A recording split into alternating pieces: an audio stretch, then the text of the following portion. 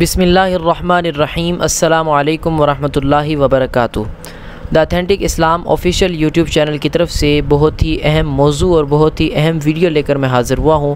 آج کی اس ویڈیو کا موضوع ہے نکاح اور نکاح کی اہمیت۔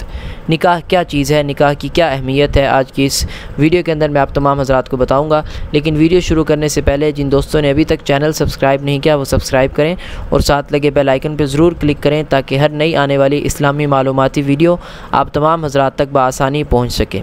نکاح کی اہمیت۔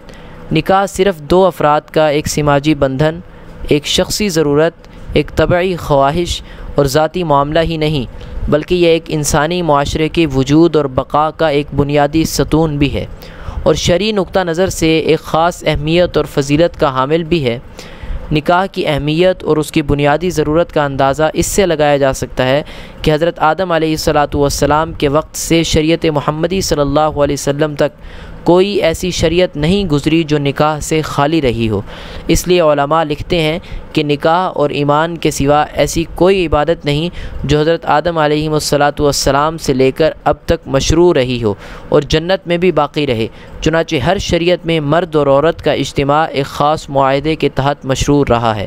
یہ نکاح کی اہمیت ہے۔ انشاءاللہ نیکسٹ ویڈیو کے اندر بھی میں نکاح کے متعلق ہی کوئی معلوماتی بات آپ تمام حضرات سے کروں گا۔ تو انشاءاللہ دیکھتے رہیں۔ بندے کو دعا میں ضرور یاد رکھیے گا۔ جزاکم اللہ و احسن الجزا